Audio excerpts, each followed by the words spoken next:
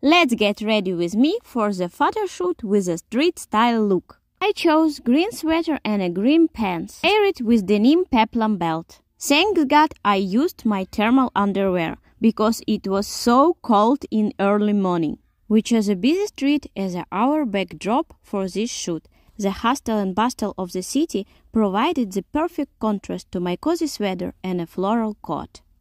Love ya!